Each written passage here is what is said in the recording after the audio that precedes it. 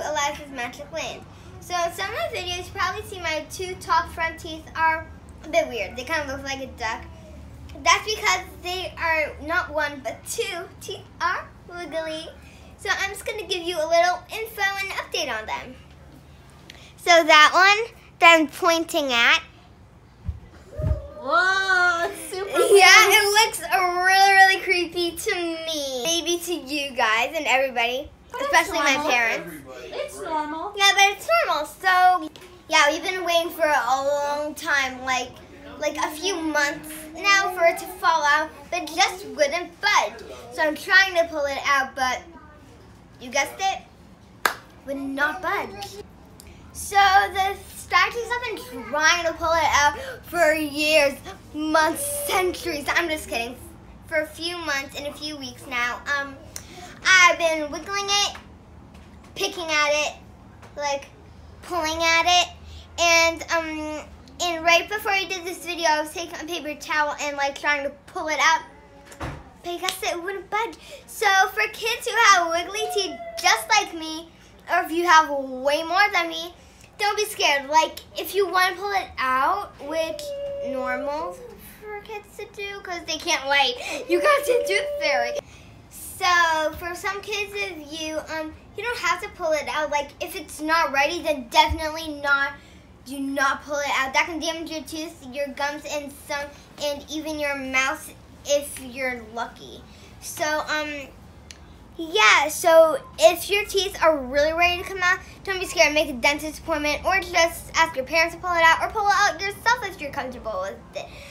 Or just be patient, and let it fall out on its Uh-huh. own. Or be patient and let it fall out on its own, which I've been trying. But the best part is to do maybe maybe go and see a dentist to pull it out. Or ask your parents. So strategy I am trying to do No is fair. pull it out myself.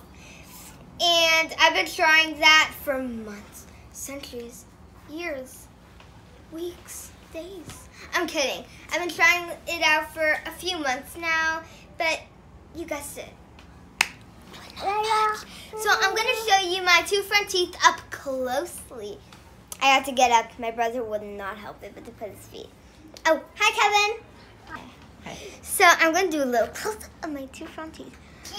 Don't judge me. Do you look like a duck? I don't think you look like a duck. You look beautiful. I well. Yeah, you look beautiful Yeah. as ever. Well, like this one looks like a beak of a duck. I'm just saying Oh. that. So The beak of it. So yeah. So there's that one. Kevin, stop it. So sorry, he's into the pinching mode. So here's the first one. Look, Ah! I'm sucking on it. Okay. So and then the other one. Oh, those are very loose.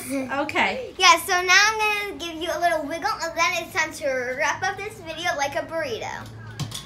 Even though I never had one before. Now we're going to talk about the tooth fairy and what I hope she's gonna bring me.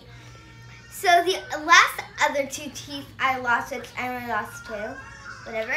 So um, I only lost two teeth, and one the tooth fairy left me a note and little LOL stuff, and then last one she left me notepads and toothbrush and some other cool stuff. What I hope she's gonna bring me now is a bit of money, a little note, and a little present like Santa Claus would give you. Tooth fairy is way more exciting than Santa Claus. Whatever.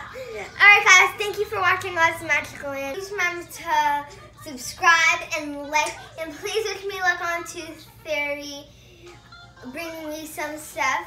And I will too. Two, four, six, eight. We appreciate the Tooth Fairy? Stay happy,